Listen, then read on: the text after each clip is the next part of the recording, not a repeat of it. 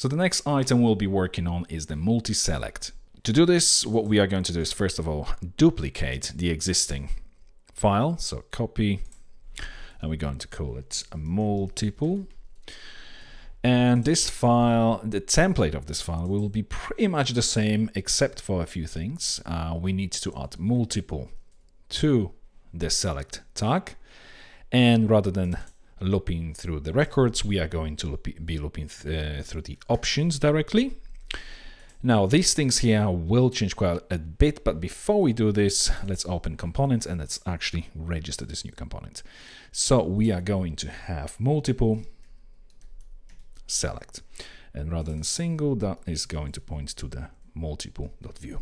Okay, if we save and close this file, now, the other thing we're going to do is remove these imports, and what we are going to be actually importing this time is a multi-select input. The mixin which we've created earlier as well, so multi-select input, and we need to use it as a mixin.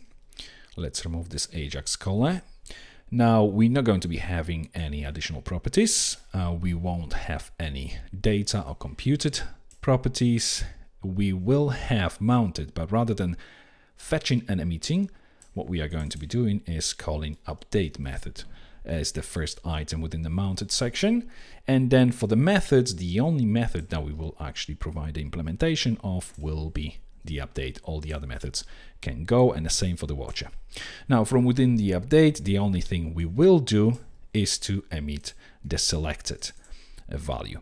And that's everything in terms of the multiple component. If we save and close this, and now if we go to main index blades, I've already added a fruit array to our collections on the form wrapper, because this is where all those multi-selects for this particular multi-select will be collected as the fruit index. You can obviously create as many as you want with different names. And if we now scroll right to the bottom, my last item here is the fruit. Uh, we have this multi-select, which we've just registered. We have options, name and value. Value in this case is a string. Uh, we have validation, just required. Uh, we have current value, which will pre-select banana and apple. Apple and banana will be selected. And then I've also added the input uh, CSS class to make sure that there's no margin between the, the actual input and then the field set. But that's obviously purely down to the formatting here. Okay, so if we now recompile everything and let's preview everything in the browser. And if we refresh the page, you'll see our fruit multi-select is here. We have two items pre-selected. If I go to the form and let's just look for fields, there we go. We have fruit with banana and apple pre-selected. I can deselect them by using command and click on the Mac. Uh, we can select multiple as well, single or all of them. You can see they are being added to the collection.